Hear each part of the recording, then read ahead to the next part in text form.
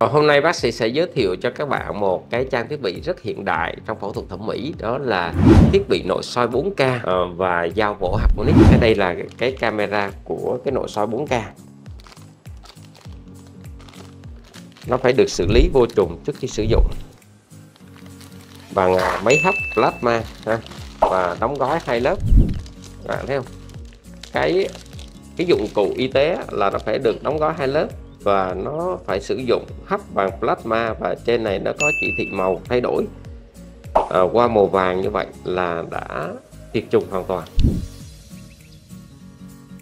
Bây giờ bác sĩ sẽ gắn cái camera.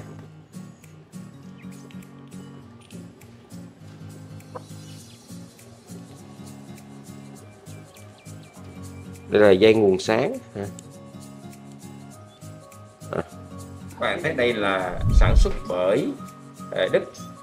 Ờ, và đây là camera à, 30 độ. Đây là dàn độ so 4K còn đây là dao mổ harmonic. Cái dao mổ harmonic nó có hai dạng một dạng ngắn và dạng dài.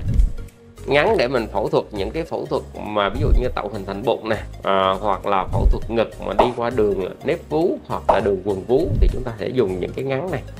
Hoặc là những cái cắt da và vùng nách hoặc là phẫu thuật mông thì dùng cái ngắn này còn những cái tạo những cái khoang à, giống như là khoang ngực mà phẫu thuật nội soi đường nách hoặc là những cái khoang mông thì chúng ta sẽ dùng cái cán dao dài này. Đó. thì đây là dao Harmonic bác sĩ sẽ xé ra các bạn xem.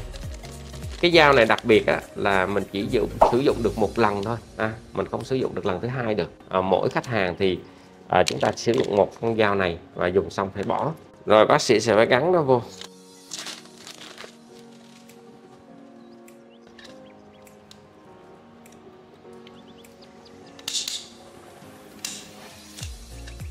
Rồi mình phải gắn con da này vào. Đó này. đây là dao harmonic bác sĩ đã test xong rồi bây giờ có thể sử dụng được. Thì các bạn thấy này, cái đặc điểm của dao harmonic đó, là nó cắt bằng sóng siêu âm cho nên là cái tổn thương của nó rất là ít vết thương rất là nhanh lành.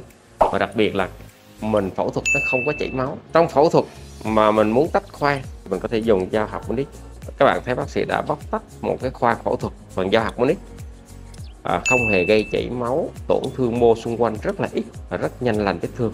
Đây cũng là dao monic nhưng mà thay vì à, cái đầu nó ngắn cái đây là cái cán dao nó dài hơn để giúp bác sĩ sẽ tiếp cận những cái vùng nội soi xa. Cái nhược điểm của dao harmonic á, là nó không những nó đắt tiền mà nó chỉ sử dụng được một lần thôi. Mỗi khách hàng à, mình phải mua một dao và mình chỉ sử dụng một lần là mình bỏ nó đi và nó làm cho bệnh nhân gần như không phải đau à, sau phẫu thuật. Đây là những cái là điều tuyệt vời mà do học nít mang lại. Bác sĩ giỏi rồi nhưng mà nếu không có trang thiết bị hiện đại phục vụ thì thật sự kết quả cũng sẽ không tốt.